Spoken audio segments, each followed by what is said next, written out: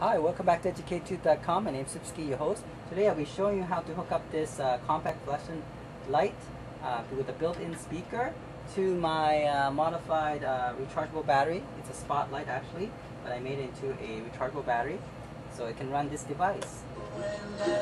Uh-huh. Let's get started.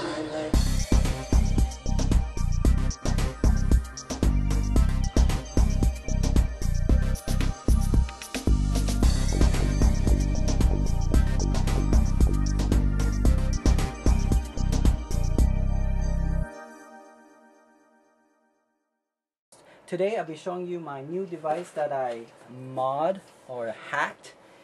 The device I bought is called Amplifier Lantern. I bought it from at Walmart for 20 bucks. It's pretty cool. Here it is. I'll show you. Okay, you have a handle. It has a compact fluorescent light. It has a built-in speaker. You can see there. Pretty cool. And you just hook up um, your uh, MP3 player or iPod or iPad on this um, headphone jack. So any um, MP3 player that has a head headphone jack or iPod, whatever, or even iPhone or smartphone should work on this.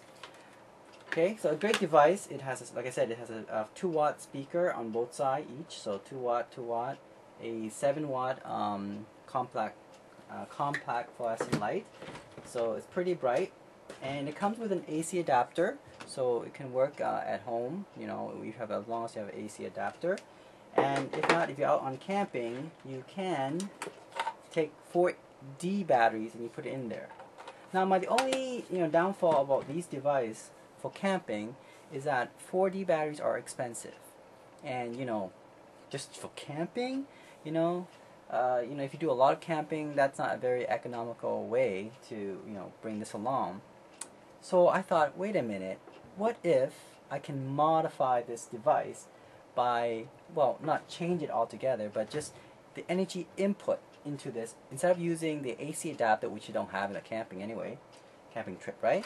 And uh, the batteries, too, uh, too much, uh, cost too much, so can't use DD battery. So I remember the project, I don't know, you can check up on the uh, upper right hand corner where I um, made a rechargeable battery from a, um, if you remember this one, this is a halogen light, uh, flashlight, very bright. It's about 2 million um, brightness. Let's see, I'll show you right now.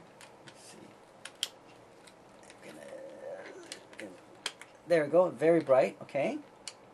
Um, and I mod it. I actually go in there and rewire the uh, battery. This is a 30 watt battery. Um, and it's rechargeable. It actually has a built-in recharger. I charge it, so it's actually a, rechargeable battery as well as a flashlight. So I mod that, and I thought, wait a minute, I could use this. This is a six volt battery, and this is also a six volt battery uh, uh, uh, power. Can I actually hook this up to this? And it is possible. In fact, you can see here. I what you need is actually here. I'll show you. You know, once you you can check the upper right hand corner on how I mod this, but I have a positive and negative terminal that's sticking out right? And you need to buy this a special adapter car adapter with have a you know a clip right on it, and then this is like the um, the female uh, receptacle of the um, car, right? And then you need this that comes actually that comes with this uh, device when I bought it. Um, let's see what it looks like. I'll show you right now. It is a car plug it's hooked directly to an see an AC adapter.